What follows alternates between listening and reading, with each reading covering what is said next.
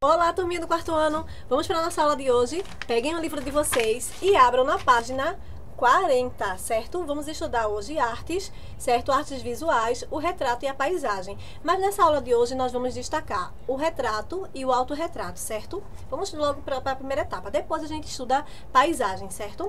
Vamos lá na página 40. Tem aí mostrando uma parte do museu. Deixa eu te abrir aqui o livro, pra, só para vocês abrirem o livro de vocês, só para vocês observarem aí. Certo? Tá vendo? Então, é um museu aí representado, não é isso aqui, telas na parede. E aqui, continuando, ó, a continuação daquela página, certo? Na página 41, aqui tem uma família, né, dentro de um museu, e eles estão observando as paisagens ali pintadas, né? Tem retratos também, certo? Mas a maioria aqui são o quê? Paisagens, não é isso? De vários artistas. E quem aqui nunca foi no museu, né? Quem não foi, tem que ter essa experiência. Agora, não é que a gente está nessa parte de pandemia, estamos restritos, mas quando reabrir, é uma boa oportunidade, certo? Tem, tem aí na página 41 os primeiros passos, que é uma família, certo? Observe a ilustração de abertura da unidade. O que essa família está fazendo? Respondam aí o que, é é, o que, é que essa família está fazendo, certo? O segundo ponto, segunda pergunta. Você já fez um passeio com, como este?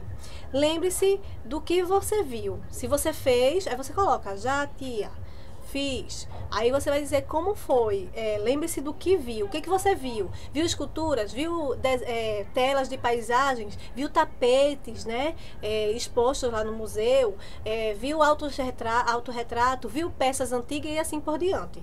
Terceira, né? O terceiro ponto. As telas de pintura são sobre quais temas? Que está mostrando aí, certo? Estão mostrando dois tipos, não é isso? Está mostrando tanto esses aqui que está nessa página e nessa página aqui 40, que é a continuação. Deixa eu tia reabrir aqui. Certinho? O que que essas duas páginas estão mostrando nessas telas, certo? Tia já explicou e responde aí. Dá para responder até no próprio livro. Tia já explicou que dá para escrever até aqui nessa partezinha clarinha, tá bom? Para não estar tá escrevendo lá no, na matéria. Se quem quiser fazer no caderno, pode.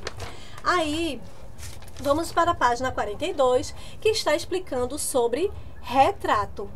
E o retrato, né, é, uma do, é um dos gêneros de artes visuais que remetem é, aos temas que são constantemente, né, é, observados, certo? É, o gênero do retrato é constantemente visto, certo? E é, a gente pode até fazer essa observação, que o retrato ele foi evoluindo de acordo com o tempo, com a mudança, com a época. Isso tem até falado no nosso, no nosso livro, né?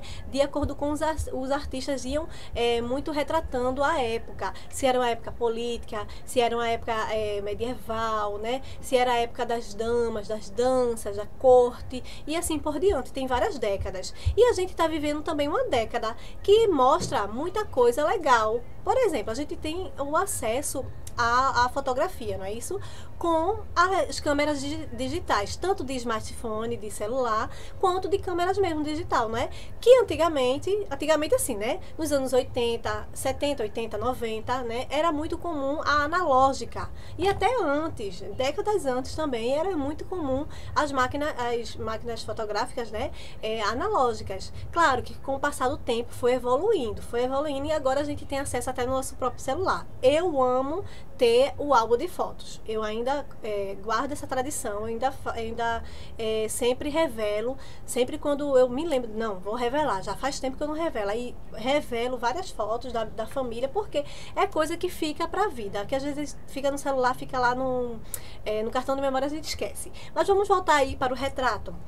Então, vários artistas né, pintavam de acordo com a época, com o que eles gostavam de pintar, e muitos usavam vários materiais. Alguns tinta óleo, alguns tinta guache e outros e assim por diante cada um ia usando seu material, certo?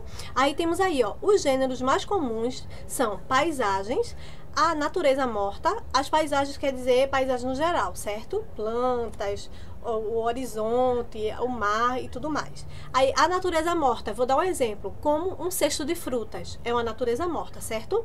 Ou um retrato ou, e o autorretrato, que daqui a pouco a gente vai ver o autorretrato. Eu também amava, quando eu estava começando a, desenhar, por isso que tia sempre gosta de colocar uma atividade com desenho, porque eu amo desenhar e eu sempre gostava de também tentar me desenhar certo? É, é um jeito de, da pessoa assim ir, ir exercitando o seu lado artístico, certo? Não que leve para a vida, mas assim é, é legal a gente passar esse tempo para se observar. E vocês vão fazer isso hoje, daqui a pouco a tia fala. Então, as obras é, é, relevam. Re, desculpa revelam a época ou movimento artísticos que foram produzidas, os materiais utilizados né, na sua elaboração, o contexto que foi histórico, político, cultural, social, econômico. Então tem tudo isso. Se a gente fosse fazer uma pesquisa aí, né, iria ter muitos tipos de fotografias. Mas vamos lá. Temos aí um artista, né, na página 42, o artista Francisco Goya certo? De 1800, ele fez a condessa, a condessa de Chinchon. Olha a condessa. Que chique, bem. Ela está sentadinha, toda bonita, elegante, né, com o vestido da época da corte, né? Então, ela ela serviu de, de inspiração a a técnica que ele usou foi óleo sobre a tela, tinta óleo, certo? Então era muito comum também ver isso. Ah, vou dar outro exemplo de, de é, retrato, né? Que é muito famoso. O, o quadro da Mona Lisa, não é isso? Ele é muito famoso e ele é um retrato, ok? Aí temos aí, é, na página 42, um fazendo arte, que é tarefa de casa que vocês vão fazer. Deixa eu te explicar. Tá dizendo aí no nosso livro que vocês iriam formar dupla é, com um colega da sala, né? Separem os materiais, a gente ia separar os materiais e ia fazer em sala de aula. Como estamos nesse momento dessa forma, vamos fazer por enquanto em casa. Essa é uma outra atividade que a gente pode estar tá colocando na volta às aulas, né? Sem se tocar, mas a gente pode estar tá fazendo, certo? Quando tiver a oportunidade em sala de aula, a gente faz. Mas por enquanto, para a gente não perder o fio da meada, vamos lá fazer em casa. Então, essa dupla você vai escolher o papai e a mamãe, o irmão, a irmã, o primo, quem convive aí com vocês, que for um artista, um corajoso e desenha, certo? Participe, família, tá bom? Com os alunos. Então vamos lá. Aí você vai escolher uma dupla, vai dar o material. O material tem no nosso próprio livro esse espaço na página 43. Tá na página 42 explicando aqui o passo a passo e vocês vão fazer aqui. Você pode dividir no meio ou assim também, tá? Ah, tia, mas eu não, não quero fazer aqui no livro é legal. Quem tem um livro, faz um livro. Só quem realmente, se alguém não tiver, faz no caderno de artes, tá bom? Não tem problema. Aí você vai fazer é, aí no seu livro, na página 43, o desenho. E tá dizendo aí, ó. É, vocês vão se olhar um ao outro e vai desenhar, certo? Sentem-se de frente para o outro, combinem quem vai posar primeiro. Primeiro um desenha e o outro desenha. Então é para caprichar. Observem aí, olha, é, o, o rosto da pessoa, o olhar, coloca a posição da pessoa do jeito que você quer desenhar ela. Você pode ser um artista, né, nesse momento.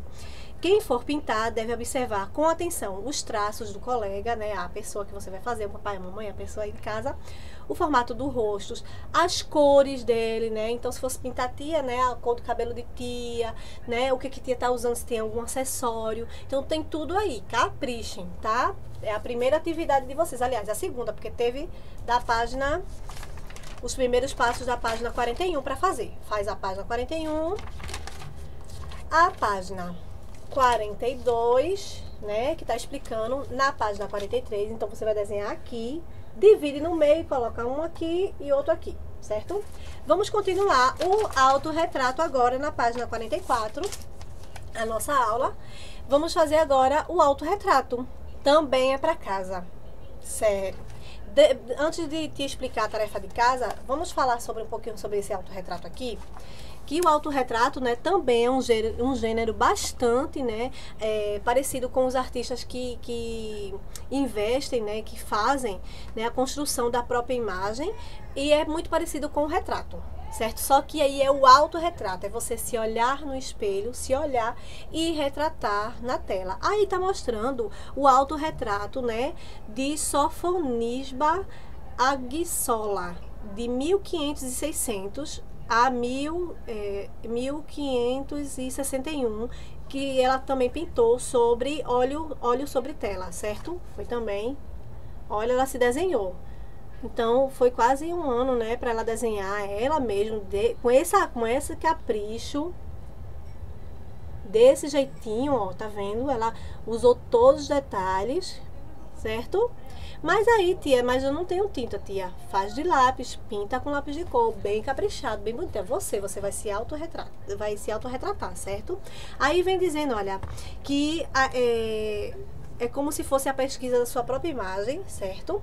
E aí o artista se observa e nessa daí de Goya, né, que ela se desenhou, ela pintou um fundo escuro, né, para destacar os traços dela. E também, olha, é muito parecido com o da Condessa Chinchon é um nome diferente. É muito parecido também, também um artista aqui, ó. Ele investiu num fundo escuro. Aí você pode ficar à vontade. Pode ser um fundo estrelado, um fio, um fundo neon, é, atrás que tem um arco-íris, uma paisagem. Vocês podem ficar à vontade. Mas tem que fazer o seu autorretrato aí na página 44, certo? Aí de tia vai explicar aí a, a tarefa da página 44. A obra de, de Aguissola provavelmente foi feita com observação de uma imagem em um espelho. Separe um espelho, os materiais para o desenho, né? É, e crie o seu autorretrato. Você vai se, se sentar em frente ao espelho e vai começar a se autodesenhar. Presta atenção nos tracinhos. Tia, mas eu não sei desenhar bonito assim, não sou artista. Desenho do seu jeitinho. Nem que seja um bonequinho aquele de, de, de palitinho ah, mas eu acho que dá para caprichar, porque aí já estamos numa idade maiorzinha, né? Dá para fazer o pescocinho, os tracinhos, nem que seja até aqui do corpo, igual como que tá aparecendo aqui. A parte de cima do rosto, né? Que tá igual a ela. Ela, se auto, ela fez o autorretrato só a parte de cima, tá vendo? Aqui a parte do peitoral, né? Com a cabeça e o pescoço. Então, façam também. Aí você vai, vai se olhar no espelho e vai fazer os seus traços, experimentar também. Você pode experimentar fechar os olhos e tentar se desenhar também. Mas eu acho melhor vocês se fazerem normalmente olhando, certo? É, se toquem para sentir a parte do seu, do seu rosto está especificando aí, né? Experimente fechar os olhos e tocar é, lentamente cada parte do seu corpo, do seu rosto, aliás, sentir suas formas e cole seu autorretrato no espaço abaixo, certo? Bom trabalho. Aí tá dizendo para você colar. Quem quiser já desenhar aqui, pode, tá bom? Mas pode interferir com o de trás. É por isso que o livro pediu para colar. Porque se alguém pintar aqui com lápis hidrocor, aí vai manchar atrás.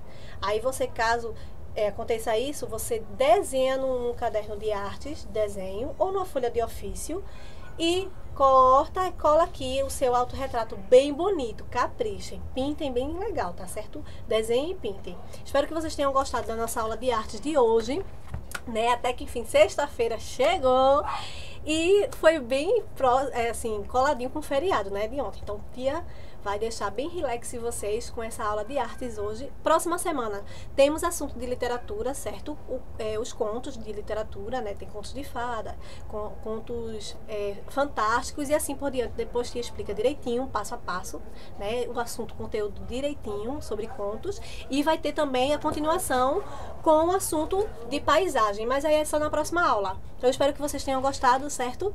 Se cuidem, meus amores. Bom final de semana. Te amo a vocês. Tchau!